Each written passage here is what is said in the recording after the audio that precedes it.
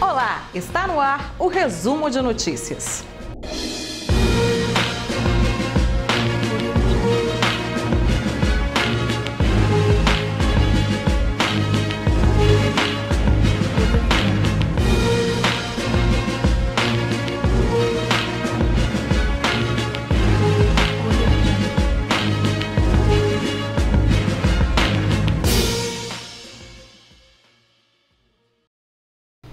E hoje é sexta-feira, 17 de setembro, e você confere agora os principais destaques do portal giro.com. Policiais civis da centésima sexta Delegacia de Polícia de Itaipava prenderam em flagrante na quarta-feira, 15, o proprietário de um estabelecimento comercial pelo crime de furto de energia elétrica. A ação aconteceu após um trabalho integrado de inteligência.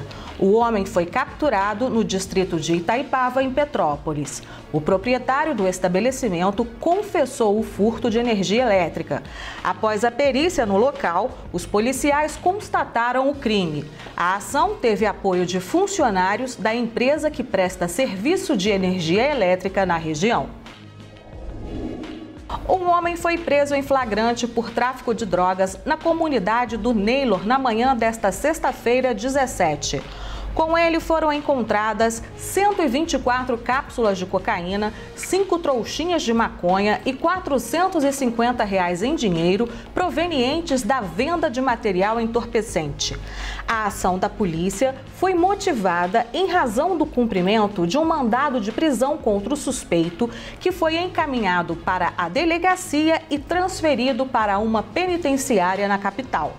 A prisão foi comandada pela Polícia Militar através do serviço reservado do 26º Batalhão de Polícia Militar, juntamente com o núcleo de entorpecentes com o policial Renato Rabelo. Na mesma região, os policiais vêm atuando para inibir a comercialização de material entorpecente em diferentes localidades.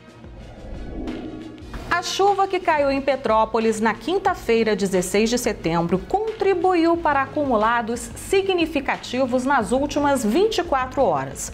Segundo a Secretaria Municipal de Defesa Civil e Ações Voluntárias, os riscos de deslizamentos e ocorrências associadas ao tempo são altos e a maior preocupação está na região do primeiro distrito. Segundo o órgão, o bairro Taquara, no Quitandinha, foi o que registrou maior volume de chuva. A chuva forte também atingiu a região do São Sebastião e Independência. A Defesa Civil alerta ainda que podem ocorrer casos pontuais de instabilidades de encosta em áreas de maior declividade. Em situação de emergência, as equipes podem ser acionadas pelo número 199. Estudo do Instituto de Pesquisa Econômica Aplicada, o IPEA, divulgado nesta sexta-feira, 17, mostra que houve queda de 6,6% na renda habitual e aumento de 0,9% na renda efetiva do trabalhador brasileiro no segundo trimestre de 2021, na comparação com o mesmo trimestre do ano passado, o pior momento do mercado de trabalho durante a pandemia da Covid-19.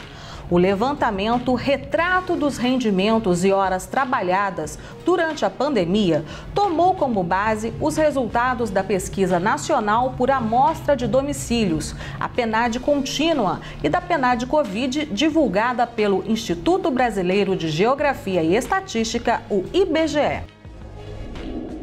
A reprovação ao presidente Jair Bolsonaro subiu de 51% a 53% entre julho e setembro, segundo pesquisa Datafolha, publicada na quinta-feira 16. Embora esteja dentro da margem de erro de dois pontos percentuais, o número em tendência de alta desde dezembro do ano passado, de acordo com o Instituto, representa o maior percentual absoluto de avaliação negativa do presidente desde o início do mandato.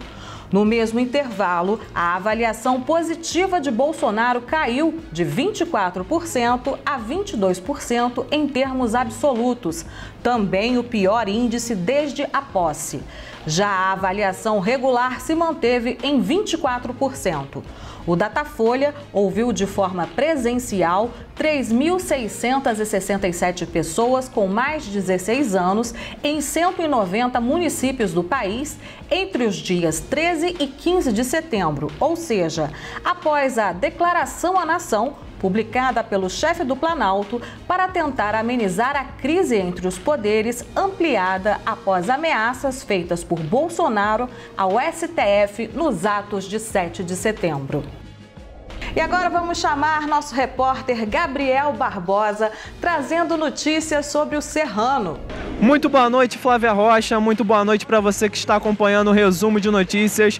Hoje nós estamos aqui acompanhando esse magnífico evento de lançamento do ano 2021 do Manto do Serrano, do Manto do Leão da Serra para essa temporada. Lembrando que o valor está em R$ 99,00 e você ganha também uma camisa extra em homenagem aos 70 anos do estádio Atílio Marotti. Nosso cinegrafista Wendel Fernandes vai mostrar mais ou menos como que está o movimento aqui na Praça Dom Pedro. E lembrando que você que não pôde comparecer até aqui até o evento, pode comprar pelo site oficial do Leão da Serra, pelo site oficial do Serrano. Você pode estar realizando a sua compra e fazendo a aquisição dessas belas camisas que o Leão da Serra vai utilizar nessa temporada de 2021. O Serrano treinou nessa sexta-feira no estádio Atílio Marotti em preparação para a estreia no campeonato estadual que vai acontecer no próximo domingo o Serrano vai jogar contra o Serra Macaense no próximo domingo, estreando, estreando pelo Campeonato Carioca com os mantos que estão sendo vendidos aqui no dia de hoje. Muito obrigado, Flávia Rocha. Muito obrigado para todos vocês que estão acompanhando o resumo de notícias. A previsão do Clima Tempo para este final de semana em Petrópolis, de acordo com o portal Clima Tempo, é de tempo seco. O sábado será de sol com algumas nuvens e não chove. Temperatura mínima de 14 e máxima de 27 graus. O domingo também será de sol com algumas nuvens. Não há previsão de chuva. Temperatura mínima de 15 e máxima de 30 graus. Depois de cinco dias de intensa e variada programação em novo formato, online e presencial, o 20 Festival de Inverno de Petrópolis, realizado pelo Instituto Delarte, se despede neste domingo 19 de setembro. Eventos de excelência em qualidade musical e oficinas infantis foram oferecidos gratuitamente ao público. Para o domingo, estão programadas oficina para crianças, oficina de artesanato, além de apresentação de músicos e o grande final. Programado para as sete da noite, a apresentação da Orquestra Sinfônica de Barra Mansa no Salão Nobre da UCP, com presença do público. Entrada gratuita por ordem de chegada e sujeita à lotação de 80 pessoas pede-se a doação de um quilo de alimento não perecível para a campanha da solidariedade a ser entregue no local do evento. Mais informações sobre o festival pelo site delarte.com.br/festival. Começou nesta sexta-feira, 17 de setembro, a participação das marcas da Rua Teresa no Fashion Weekend, organizado pela Associação da Rua Teresa, a Arte, para promover e valorizar as marcas de moda locais.